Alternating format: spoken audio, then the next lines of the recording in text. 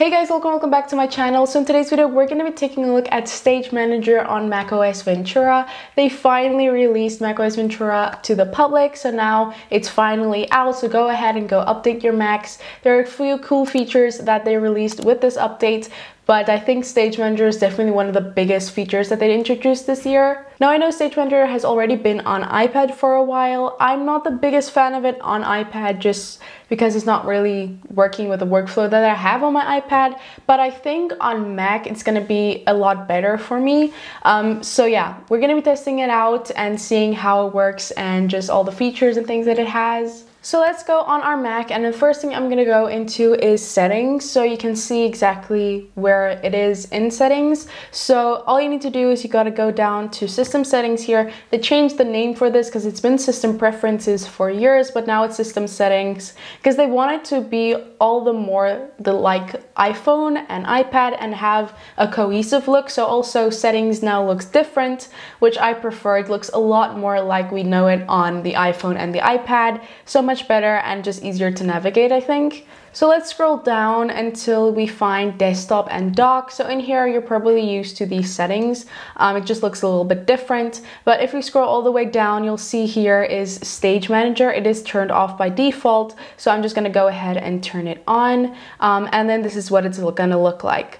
Um, now, the first thing I noticed when I turned this on is I have stickies on my desktop. I just like the look of them there. Um, and that usually goes into its own little separate thing it, then I don't have my folders that I usually have here on my desktop and things like that or if I click off to my desktop um, the stickies disappear as you can see so I didn't really like that whole look but luckily if you go into settings um, you can go to customize and here you can turn off or on recent applications or not. You can go ahead and select desktop items. So I like having that turned on so that I can always have these folders just because I want to quickly reference them or something. Or if I just want my stickies open and on my desktop I can have that um, with this here. Sticky sounds so weird. I'm just gonna call it sticky notes from now on. Um, but yeah, and then also you have show windows from an application all at once or one at a time, so you can adjust that as well. Um, so yeah, those are all these settings that you can change within the um, stage manager settings. Um, so then what you can also do um, that I would quickly want to reference is going to your control center. I already set this, but I'm going to quickly show you guys. So on default, it is set as don't show in menu bar, but it is if you click on control center here in Control Center, you'll see there is Stage Manager where you can quickly turn it off or on. But what I prefer is having it in my menu bar here so I can quickly just set that if I want to. So all you need to do is just set it to show in menu bar and then you'll see it here and here you can turn it off or on or go into the settings for Stage Manager. So yeah, that is also something that you can go ahead and set if you wanted to add it to your menu as well as have it in your control center. So yeah, that is all there is for settings. So now let's actually just test out Stage Manager more, seeing how it works and how it looks. Um, so I'm just gonna close this window here. So as you can see, I have a few here already. Um, so I will now, when using Stage Manager, never be using things in full screen because I like the fact that I can, even if it is kind of full screen, it's not full screen, the window is just pretty big. Um, because in full screen, let's just make this full screen you'll see it's not going to stage manager it's just in the um, view up here. So yeah I prefer now having things like this. But what I really like is being able to quickly switch between apps by just going to the left hand side of my display and having this pop up you see this might be a little annoying with um, Notion settings, so we'll see how I manage that. I can probably just click here too.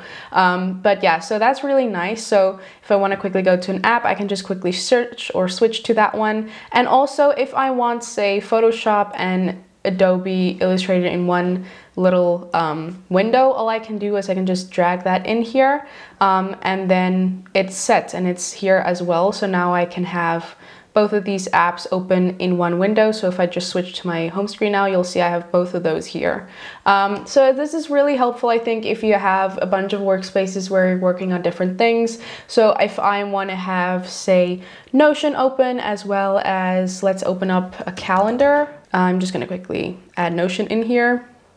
Then I can have these two open and then I have two different workspaces basically. I have one where I'm planning things and then I have one for more work related things here. Um, so it's really nice just to have groups of apps open. Um, and then the stickies one is pretty easy for me to just switch to desktop, I feel like. So that's really nice.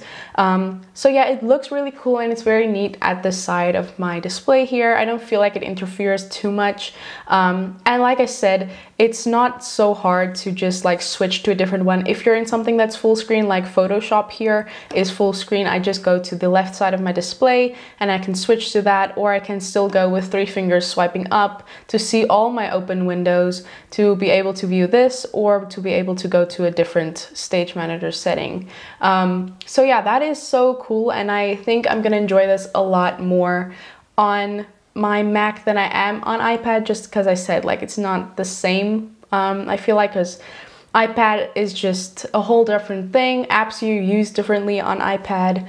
Um, I don't love multitasking on iPad. I prefer it on my Mac. It's very possible on iPad, but yeah, I just prefer it on my Mac. Definitely, it's just easier to manage Windows. So um, yeah, that is really cool. And I'm glad that I can finally use Stage Manager because I was kind of avoiding it on my iPad. So yeah, that's basically all I wanted to cover for you guys on just like Stage Manager, just testing it out on Mac finally. Um, also, there are a few other things that came to Mac with this update, which is really nice. We finally have the weather app on Mac, if you can see here. We finally have clock now, which you can set timers and alarms on your Mac itself. Um, then there are other things like mail got a big update on Mac with undoing sends and things like that. I'm not sure exactly everything that's new there, but I know there are a few things there as well. Also, one of the biggest things is probably just the ability to now add your iPhone as a webcam to your computer. Um, so that is really cool and I still want to test out desk view with that where it uses the ultra wide camera on your camera to get kind of like a top down view um, but you do need a kind of special mount for that on your computer um, but that is all really cool features that now are, are, introduced with Mac. I'm pretty sure when a new update comes out we'll finally have access to the Freeform app. I did do a whole video on that on my iPad and on my iPhone um, if you want to check that out, I'll have that linked in the eye top, but that's probably going to come to Mac as well soon, which is really exciting. So I'm excited to test um, this out even more, the new Mac OS, and I already like some of the smaller updates like settings and things like that that just looks more it just looks better. So I'm really excited to be testing out further. Also with the ability to add the iPhone as a webcam, you can also use the mic for your iPhone. So right now while screen recording um, my laptop screen, I'm actually using the mic from my phone to kind of get the audio because you can now just connect the mic for your iPhone as well if you want to, which is really, really convenient because um, the mics on these are not always the best. So yeah, I really like the fact that you can do that as well. But okay, that was my video on Stage Manager on macOS Ventura. I hope you guys enjoyed it. If this video was helpful for you guys, I would really appreciate if you give it a thumbs up. It really helps me out a lot. Definitely comment down below what your thoughts are on Stage Manager on Mac and just the whole new update. Definitely leave your thoughts down below. And um, yeah, definitely subscribe by clicking on the icon on the screen. Click on the playlist to see all my other videos like this and click on the video to see one of my previously uploaded videos. I'll see you guys next time. Bye!